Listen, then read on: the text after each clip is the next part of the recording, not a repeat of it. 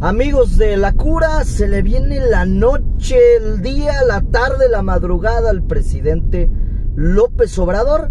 Era de esperarse que en la recta final de su gobierno, pues le brincara el polvorín de país que no pudo gobernar durante estos, pues ya cinco años y medio, ¿no?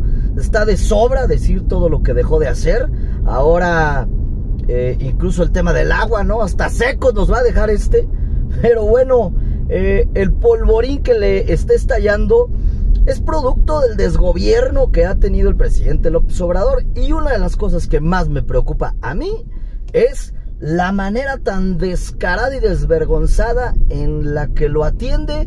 Me refiero puntualmente a lo que está sucediendo en este momento en el país, que es en este momento están las manifestaciones de los transportistas en todo el país y en las carreteras más importantes de este país. Estamos hablando de esta manifestación de transportistas ahí en la México Toluca, Veracruz México, Toluca México, todo todo llega a México, todos los caminos, pero esta gran manifestación de transportistas que básicamente lo que le están pidiendo al señor López Obrador es Oye, haz algo para que no nos maten, para que no nos secuestren, para que no nos roben.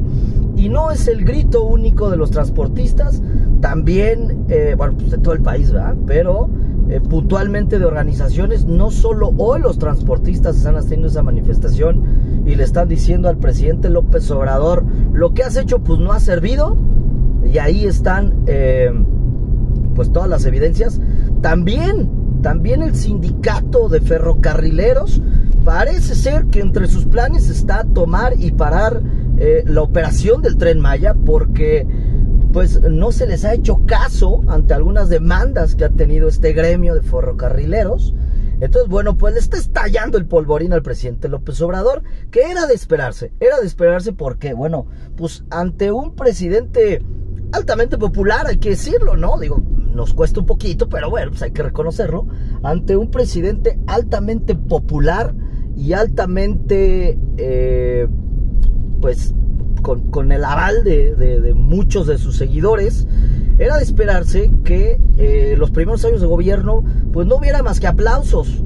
Pero ahora, como ya se va, pues bueno, pues le salta todo este polvorín de gente que se contuvo y se contuvieron por obvias razones, ¿no? Ya sabemos que el presidente López Obrador es altamente vengativo, entonces, pues seguramente estos gremios y organizaciones decían, pues mejor vamos a aguantarnos a ver si se calma la cosa. ¿Qué es lo que ya le decía que más me preocupa del presidente? Es la manera tan descarada como está atendiendo este problema. Yo no sé por qué no hay nadie eh, dentro de la 4T. Bueno, sí sé por qué, porque es una bola de lamebotas todos, ¿no? Porque todos los políticos y todos los que están ahí trabajando por un hueso, pues son unos lamebotas, ¿no? Nadie es capaz de decirle al presidente, oye Andrés, la estás super regando, güey. Lo que estás diciendo es una verdadera estupidez. No digas eso. Y me refiero concretamente a que hoy, hoy declaró el propio presidente desde eh, Guerrero, porque bueno, ya también sabe, ya no son los transportistas, son los del ferrocarril, son eh, la violencia en Guerrero, eh, es la violencia en Tamaulipas, en Michoacán, en San Luis Potosí, en Zacatecas, ya ve el problema con los Monreal. O sea, esta onda de que está focalizado, mentira, totalmente mentira. Pero hoy el presidente, la declaración que se mandó fue una verdadera locura y una joya de declaración al decir, una joya para mal, ¿eh?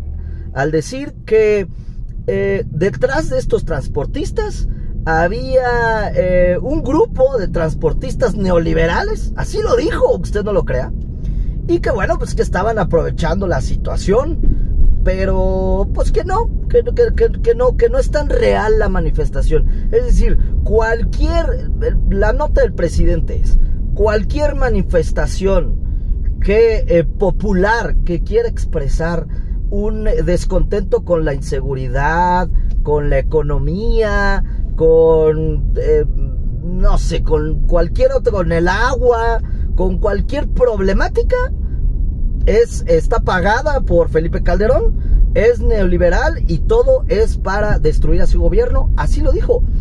que estas eh, manifestaciones de los transportistas nos hemos cansado, cansado de ver estos videos donde, bueno, pues a los transportistas prácticamente de todo el país los bajan a balazos de sus camiones y en el mejor de los casos, pues nomás les dan unos zapes y los dejan ir, ¿no? Digo, en el mejor de los casos.